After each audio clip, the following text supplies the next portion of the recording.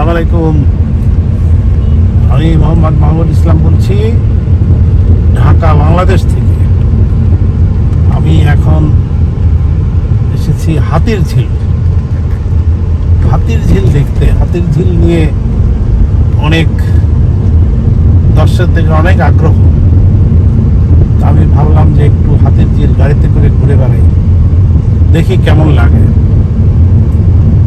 আপনার সাথে থাকেন আপনারা আমার ওই পাশের দৃশ্যাবলী দেখেন সুযোগ পেলে নেমে আমি আপনাদের সাথে আবার ফিজিক্যালি সৌন্দর্য দেখায় কথা বলব।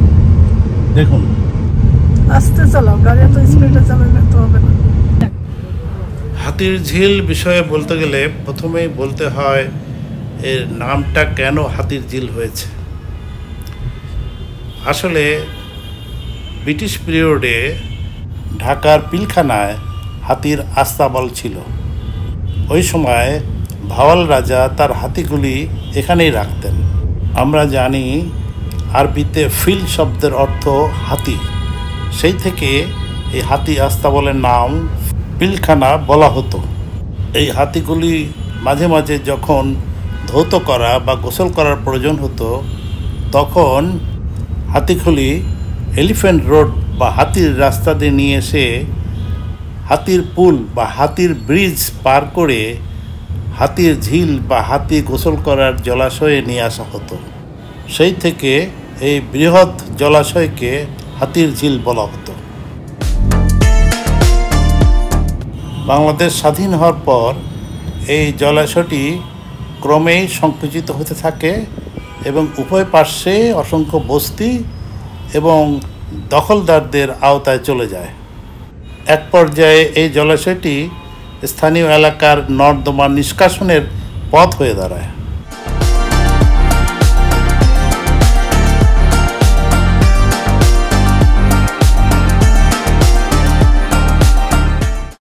দুই নয় সালে বর্তমান সরকার বিষয়টি লক্ষ্য করেন এবং তারা এই জলাশয়টিকে উন্নত করার জন্য একটি প্রজেক্ট হাতে নেন। এবং সেই প্রজেক্ট দুই হাজার তেরো সালে সমাপ্ত করার পরে আজকের এই সৌন্দর্যমণ্ডিত হাতির ঝিল পেয়েছি।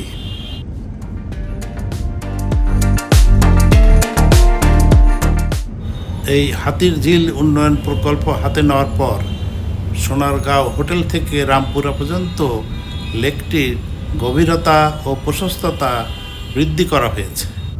এর সঙ্গে দুই পাশে অবৈধ স্থাপনা অপসারণ করা হয়েছে এবং চতুর্পাশে দুই লেনের প্রশস্ত রাস্তা নির্মাণ করা হয়েছে। এছাড়া দুই পাশে রাস্তার সংযোগের জন্য উন্নত আর্কিটেকচারাল ভিউ সম্বলিত কয়েকটি ব্রিজ নির্মাণ করা হয়েছে, যা দেখতে খুবই সুন্দর ও অতুলনীয়।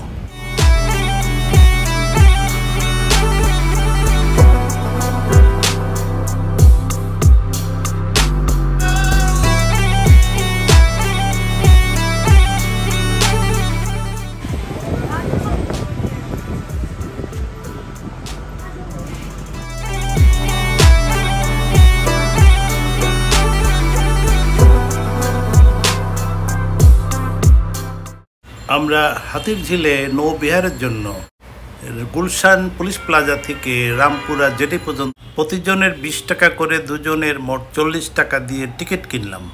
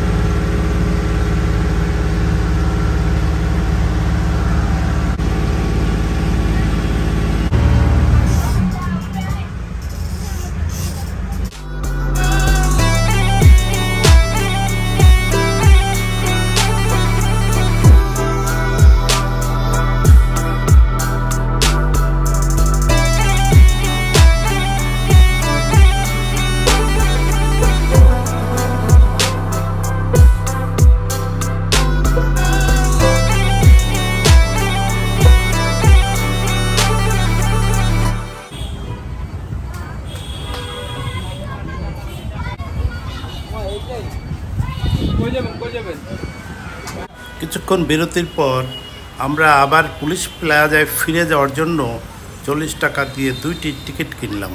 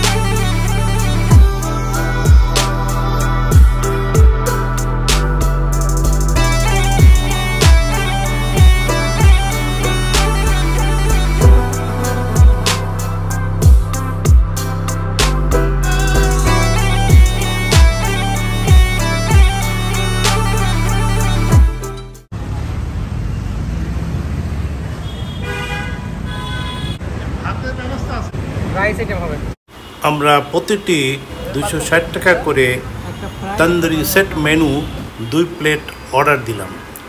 সঙ্গে বোতল পানিও অর্ডার দিলাম। আমাদের খাবার দিতে প্রায় বিশ পঁচিশ মিনিট সময় লাগবে বলে জানানো হলো। তাই এখন আমাদের অপেক্ষার পালা। তবে এই ফাঁকে আমি হাতিঝিল প্রজেক্ট সম্বন্ধে আরও কিছু কথা বলতে চাই। এই প্রকল্পে দর্শনার্থীদের জন্য অনেক বিনোদনমূলক ব্যবস্থা রাখা হয়েছে।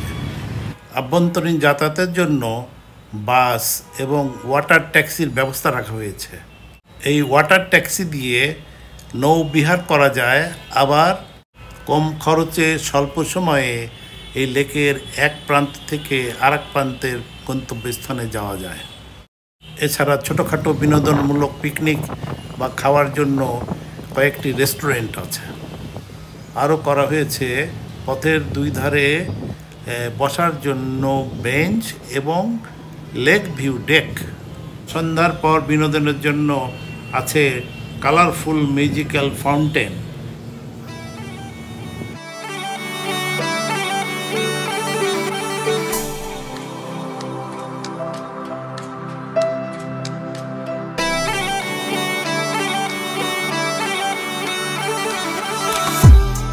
এখানে আছে time control sound wave musical tracks সহ দুই হাজার লোকের বসার স্থান।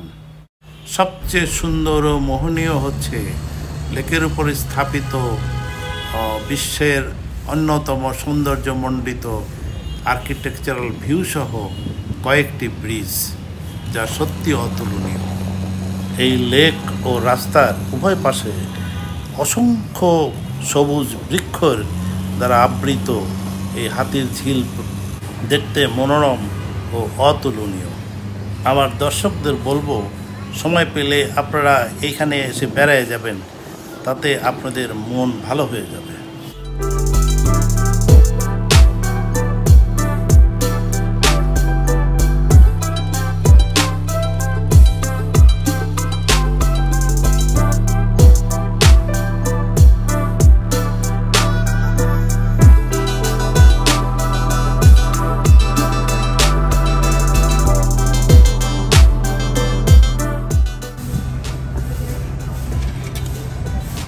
এটা চালুই করে দিই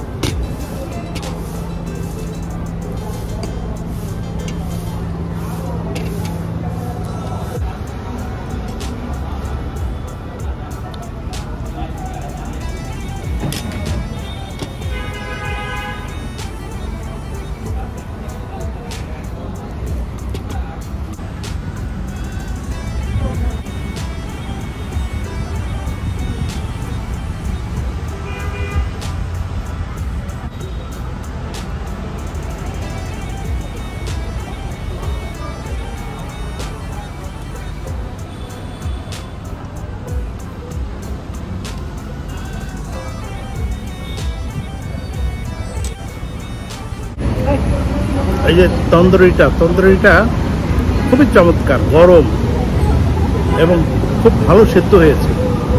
এদের তেলটা খারাপ না, তেলটা ভালো। আমি যথেষ্ট সন্তুষ্ট এদের খাবারে। আর রাইসটা গতানুগতিক।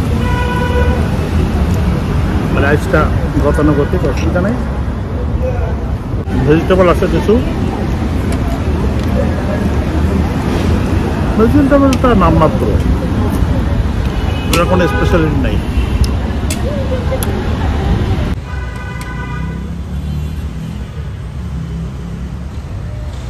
কেমন খাবারটা?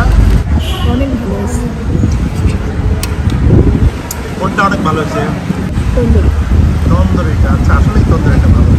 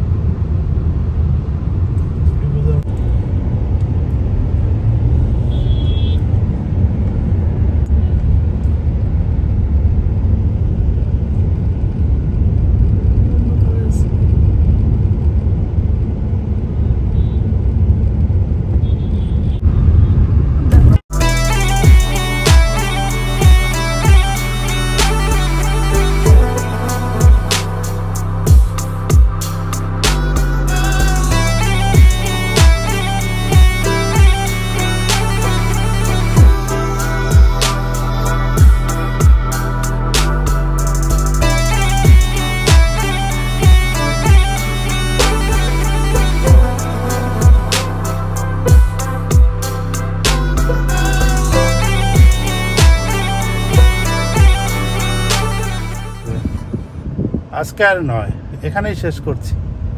আগামীতে দেখা হবে নিশ্চয়ই নতুন কোনো ভিডিওতে। ততক্ষণ সবাই ভালো থাকুন, সুস্থ থাকুন, ধন্যবাদ।